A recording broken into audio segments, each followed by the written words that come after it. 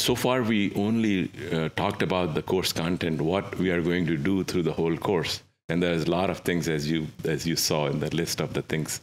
So they all make sense, right? They are all uh, energy, environment, society, politics, uh, food, uh, water. They're all connected to each other. So we have to understand all of those things.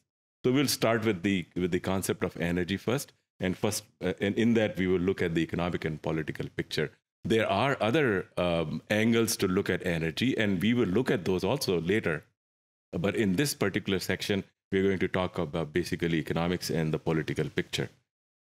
सबसे पहली slide जो है इसके अंदर आपने तस्वीरें यकीनन देखी होंगी 2022 के अंदर तूफ़ान आया था जुलाई अगस्त के अंदर वो सारे पाकिस्तान में सारे पाकिस्तान में तकरीबन सारे ज़िलों में उसकी वजह से कई हज़ार लोग मर गए थे तो ये इसकी क्या वजह है वो ये ग्लोबल वार्मिंग ग्लोबल वार्मिंग क्या है कि जो carbon dioxide we will talk lot about global warming as I mention last time we will talk will talk it at the end. Right now, just to understand that that global warming means the temperature of the earth is rising.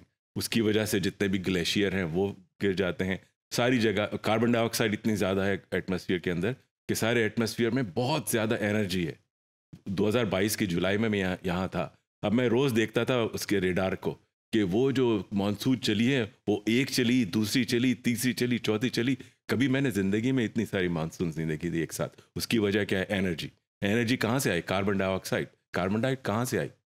अब वो आप देखेंगे आप एक minute के अंदर कि ये जो हम लोग तो जो इस्तेमाल करते हैं, वो इस्तेमाल करते हैं एनर्जी नॉन रिन्यूएबल वो जो बाहर वेस्टर्न जो इस्तेमाल करते हैं ना, वो इतनी ज़्यादा होती है कि वो जो कार्बन डाइऑक्साइड वहाँ से निकलता है, वो सिर्फ़ उनके घर तक नहीं रहता। मैं अपने भाई से बात करता हूँ कि भाई, हम अमेरिका वाले जो हैं, वो पैसे दे के तेल लेते हैं और खर्च करते हैं। वो कहते हैं, ठीक है, आप खर्च करें जितना मर्ज़ी आए, लेकिन जो कार्बन डाइऑक्साइड से जनरेट होगी, वो अपने घर रखें। वो तो नहीं होती, वो तो ऊपर चली जाती है। वो ऊपर चली गई तो सारी दुनिया के अंदर वो हो जाती है। तो ये जो ग्लोबल वार्मिंग है, इसका नाम है ग्लोबल वार्मिंग इसका ये मतलब नहीं कि यूएस वार्मिंग और यूरोप वार्मिंग ग्लोबल वार्मिंग सारी दुनिया में ऐसी वार्मिंग होती है। उसकी वजह से ग्लेशियर मेल्टिंग होती है, उसका आपने नतीजा देखा थोड़ा सा। और जितने भी मानसून रेंज आई हैं, वो भी सारी इसकी एनर्जी की वजह से आई है।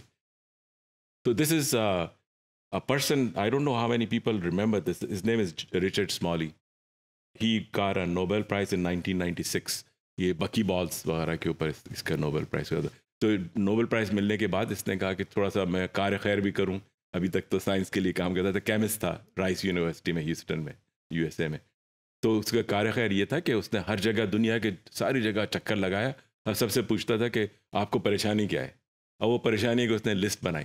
अब वो लिस्ट ऐसी थी कि वो हर उसको जो कंपाइल करें ना तो वो आप अगर मैं आपसे भी पूछूँ कि आपको क्या परेशानी है तो वही नतीजा वही आएगा जो उसकी इतने इतने बड़े आदमी ने लाखों डॉलर लगा के चक्कर दुनिया का लगा के जो पता किया था वो हर कामन आदमी बता सकता है कि जी ये ये रोटी कपड़ा और मकान जो का मसला जो है ना वो, वो ये मसला है। तो लेकिन बहरहाल देखेंगे उसने, उसकी लिस्ट में क्या है और वो आपकी लिस्ट से मैच होती है कि नहीं होती। तो उसने ये एक आर्टिकल लिखा था, फ्यूचर ग्लोबल एनर्जी प्रॉस्पेरिटी।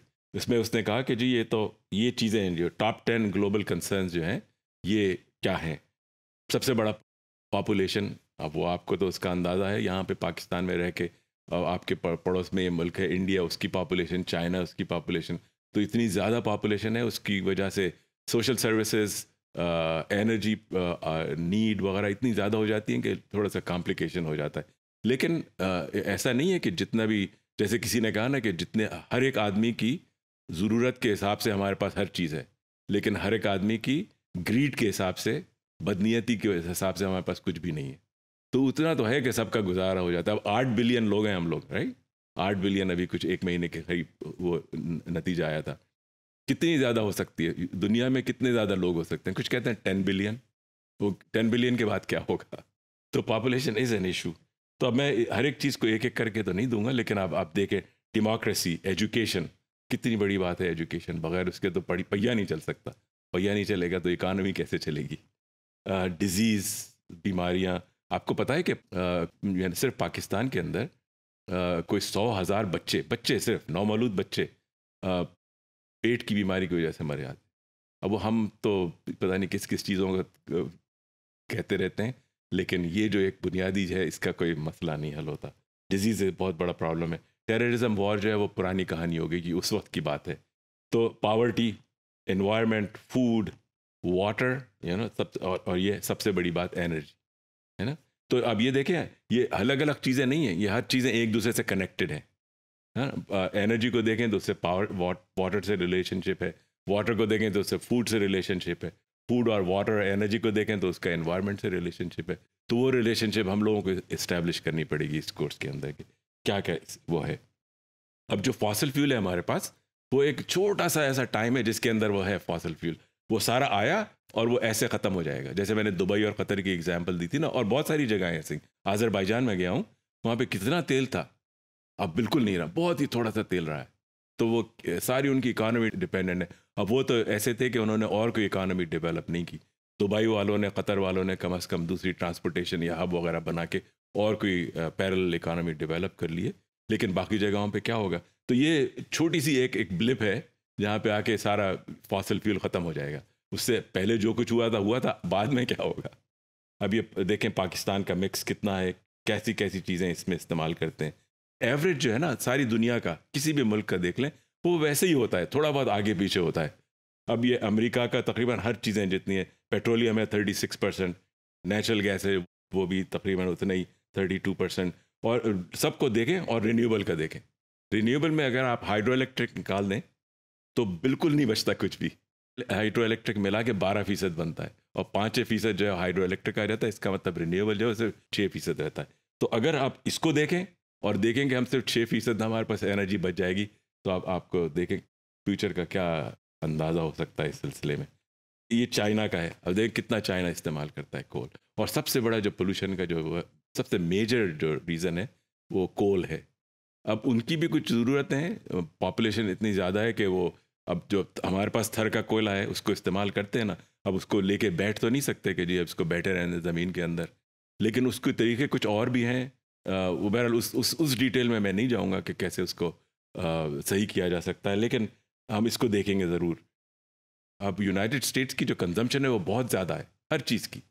वो अब उसमें देखेंगे अगले सेक्शन के अंदर। लेकिन आप ये देखें, अगर आप ये कोल का कंजम्पशन देखें ना, वो बिल्कुल, तकरीबन 2005 से बिल्कुल मुख्तलिफ़ जो उसका जो है चेंज होता जा रहा है और रिड्यूस होता जा रहा है। तो एक कॉन्शियसली हो रहा है ये काम। ये नहीं कि उन्होंने कहा कि पेंडेमिक हो गई, इस वजह से कम हो गया। नहीं, बड़ी कॉन्शियसली हर चीज़ों को वो कोल से निकाल के गैस में डाल रहे हैं। जो इलेक्ट्रिसिटी जो बनती थी, वो नब्बे फ़ीसद कोल से बनती थी। अब सिर्फ़ पचास फ़ीसद कोल कोल से बनती है, बाकी गैस से बनती है। गैस जो है, तमाम नॉन रिन्यूएबल फॉसल फ्यूल में गैस जो है, सबसे अच्छी है। इसका मतलब ये कि बिल्कुल अच्छी नहीं है रिलेटिवली अच्छी है। It's still when you burn gas you still get carbon dioxide but this is a, a, very positive thing. But the amount of fuel they consume in united states and in europe just offsets all of this good thing that is happening because of the decrease in the coal consumption